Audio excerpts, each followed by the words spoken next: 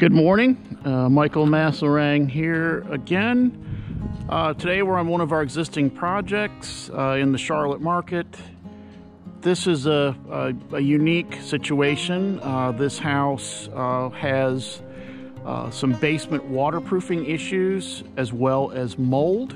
So we were contracted to solve the moisture intrusion issue as well as controlling uh, the moisture downstairs uh, in the basement, putting in a foundation drainage program as well as eradicating the mold issue, treating and removing that mold. Also part of this project uh, will be clearance testing. Uh, the original scope of work was driven by a licensed mold hygienist that did some testing and discovered that the basement floor joists uh, did indeed uh, have a significant amount of mold on the joists. So we'll be cleaning that as well. Uh, this house, of course, is below grade. And whenever you have a house that's constructed below grade beneath the street level, those houses tend to have drainage problems. And this house is 50 years old.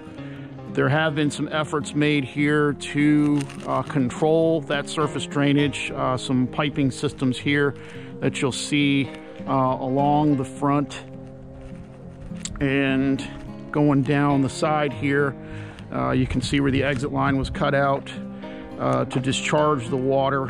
Uh, this was done by others before we got here. But, you know, this is an old block wall, so, you know, most likely this house never had a proper foundation drain to begin with. And so you add 50 years of just shrinking and swelling of the soil, that, uh, that problem uh, creating havoc on the foundation and creating the opportunity for water intrusion. Uh, this particular uh, house, uh, I guess it's about 1,400 square feet here. And we can see here the guys are working on the liquid sealer. I like to do basement waterproofing a little bit differently than what the franchisees recommend. The franchisees they like to recommend these silly 8 by 10 panels that they'll put over the block walls uh, don't, I don't like that very much because moisture tends to build up behind those panels and I've seen mold grow behind those panels. So I like a hybrid solution um, with these types of situations. We do use a, uh, a pipe and gravel system uh, for our basement repair on the foundation drainage. You can see here we do use the uh, pipe wrapped in a geotextile sock and then 18 inches off the ground we use this FRP material uh, to block the weep holes. Uh, because it's a block wall water passes through the wall and it passes into our drain system which is you see under this rock uh, that geotextile sock pipe that's uh, the control mechanism. And the FRP blocks uh, the weep holes and forces that water down into the drain system. And then from the FRP up to the sill plate, we'll do two coats of liquid sealer, which we're starting to apply today. Um, naturally, the floor system is going to be cleaned and we're going to use our uh, our mold remediation process using chemicals that meet NORMI and IICRC standards. All of the ductwork is gonna get wiped down and cleaned.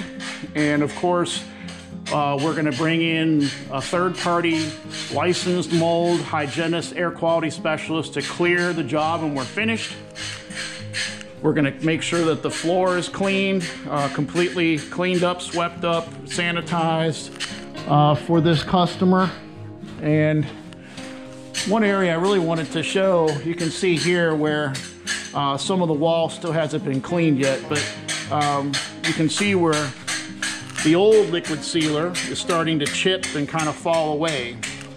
Uh, the one drawback to liquid sealers, but you know, every 15 to 20 years, you can just scrape it clean and apply uh, some new layers of liquid sealer. And this section here, uh, which we're working on today, uh, has never been treated. So all this will be cleaned and treated with two layers.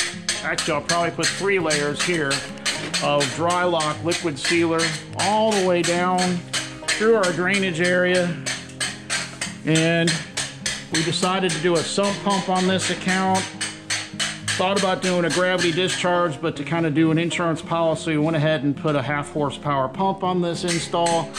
And uh, we did have the availability of an extra electrical outlet, so we decided to, to upgrade this account to a pump. Um, but just to kind of you know, get clean this place up so that you know this uh, homeowner uh, this is his rental property and wants to make sure it's safe and clean for the next uh, for the next renter and so we're working on that today should be finished here in the next couple of days uh, with the final product. So, uh, so we'll uh, we'll be happy to share the final final product here. I'm gonna go look at the exit line. This is a good example on this account of how a gravity discharge is possible. And that was kind of my original intent but again, we upgraded to the pump, which shortens the discharge line.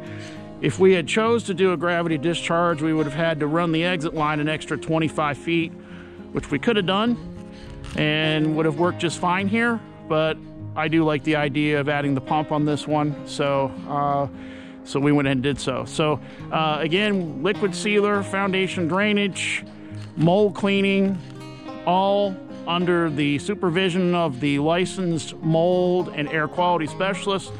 We'll return here in a couple days for the final product so you can see everything all cleaned up. Uh, we certainly appreciate you joining us today and we'll see you again here for stage two. Thank you. Okay, here we are uh, on the last day of work and the guys are finishing up the final stages uh, of the project and things turned out really nicely on this project. Uh, they've applied the patch to the floor covering up our foundation drainage system. Uh, and you can see here they've applied all the coats of the dry uh, Drylok uh, liquid wall sealer. And we've applied two coats to the walls. Uh, brightens things up in here uh, and certainly a lot healthier than the panels, which uh, as we shared in the last part of the video, uh, tend to trap moisture behind those panels, creating mold. Uh, the floors have been cleaned and cleared um, by a licensed mold hygienist, uh, air quality. We can see here that all of the exterior parts of the ductwork have been treated with fungicide and wiped clean. Uh, uh, actually, it turned out much uh, cleaner than I would have expected. As we can see, a lot of that old staining and uh, uh dirt, dust, debris that was accumulated over many years had uh, has been cleaned and wiped away. Turned out really well. So. Um, very happy with that. I'd love to have replaced the ductwork, but this is a rental property and that's just simply not in the budget. Um, We've got our sump basin here, and you can see here they've applied that uh, sac or the Sakrete patch, and did a neat job here of encapsulating everything uh, inside the concrete patch. Uh, proper uh, four-inch patch has been applied. Sometimes you can see these companies uh, will not apply a thick enough patch, and you know our trench is certainly well as deep enough so that we could maintain that four inch threshold. This area really uh, cleaned up nice. There was a lot of um, there was a lot of mold and discoloration in this corner where a lot of water intrusion had come in. Um, you know, this has been cleaned, scrubbed down, and, a, and we put, actually put three coats of Drylok here. So a very, uh, very different look here. Uh, not does it look good, but this will help to maintain uh, that moisture threshold and keep this uh, basement dry. Uh, the customer uh, is uh, going to run a dehumidifier here in the summer months. Uh, just an aftermarket dehumidifier here is certainly more than enough to run between let's say late May, early June, all the way to September here uh, in the North Carolina, Charlotte area.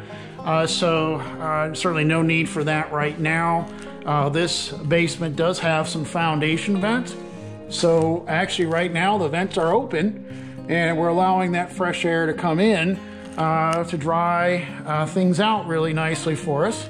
So you know, this was kind of a fun, fun project. You know, we were able to, of course, you know, get the mold business, uh, you know, clean the mold, uh, get it cleared, and uh, apply that, you know, with a full uh, basement waterproofing solution here. And uh, uh, also, the guys uh, cleaned and scrubbed the floors. You can still see where it's drying up here. Did a really nice job, you know, cleaning that up. still got a little bit of work left here to do. Uh, before they wrap it up for today. But this was a perfect time to come as we're you know finishing up here uh, on this uh, basement waterproofing slash mold remediation combination. And yeah, if you have any questions on basement waterproofing, mold remediation, uh, if, you know, structural repairs, replacing joists, rotten floor joists, so forth, hard wall sealers and panels, liquid wall sealers, big, it's a, there's a big difference between the two and the applications of using those. On these old block walls, you should use a liquid sealer because it helps to keep it cleaner, neater. Applying that product around utilities is much easier. And just the overall look of this is much better than those silly panels. So uh, we also, uh, on this project, had the option of going with a gravity discharge. Um, the guys chose to uh, put a sump pump here, which actually shortened the exit line. Uh, and it was a little bit easier to install. Uh, you know, we do like to use these little, we call it a bubble pot assembly that you can step on uh, and it won't hurt it.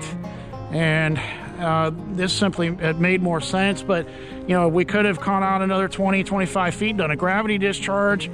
And since there was an electrical outlet right there, we decided to just go ahead and put a pump here, which uh, was, uh, it worked out quite well. So again, uh, we appreciate you joining us today uh, for this combined project. And if you have any questions on those uh, those specialties, we'd appreciate a phone call. You can uh, give us a call at the number at the bottom of your screen or visit our website and you can uh, visit us there.